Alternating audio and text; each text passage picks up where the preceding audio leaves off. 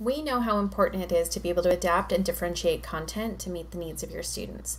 We also know that that often means a lot more than just adjusting the reading level.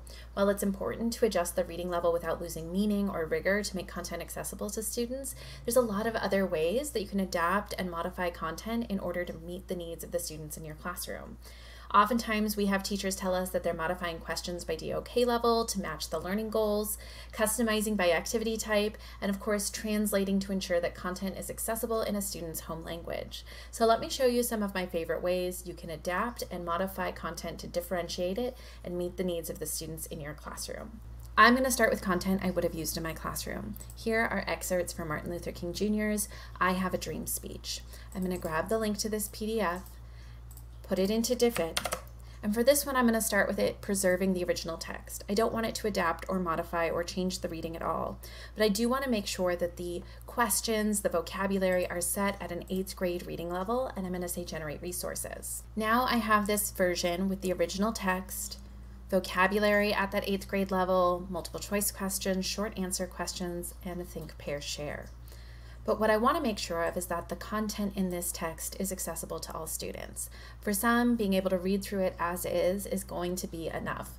For others, they might need more structure on how to read closely and identify what we're looking for with this text. So I'll go to Add Activity, and now I can add Read and Annotate.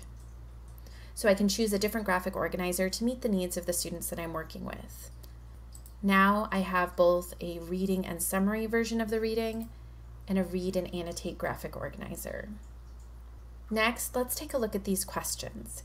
Here I've got questions based on the reading, but I want to make sure I have a couple different question sets to support different learners in my classroom.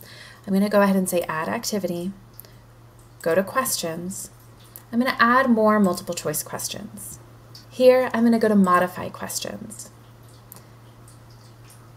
For this one, I'm going to say decrease complexity and say update questions.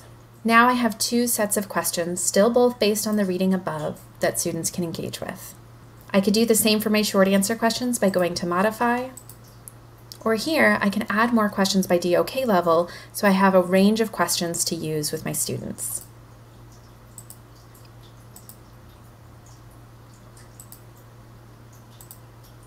Now I have the questions that originally created, a strategic thinking question, and an extended thinking question. Now that I've created all of these different activities for student groups, I can go through and re-level all of this to meet different reading levels in the classroom. I'll click 8th grade and select 6th grade to start and say regenerate. Now the reading passage, the excerpts that I kept as original to begin with, have been rewritten at that 6th grade reading level. We also have the read and annotate version that is written at that sixth grade reading level. New vocabulary, rewritten multiple choice questions, short answer questions, a think, pair, share, and it has suggested this 11 sentence commentary.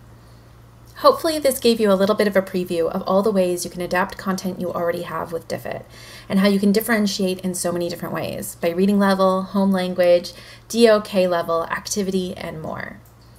Head to Diffit for Teachers, try it yourself, and then let us know what you think.